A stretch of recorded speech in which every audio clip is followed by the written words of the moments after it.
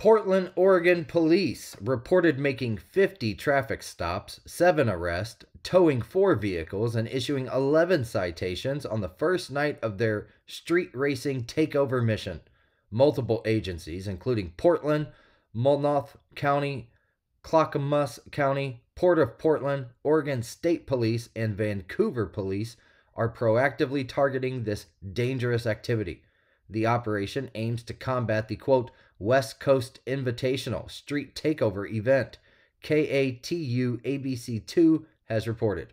While no street or intersection takeovers were noted on Friday night or Saturday morning, there was some street racing and sideshow activity. The mission continued into its second night.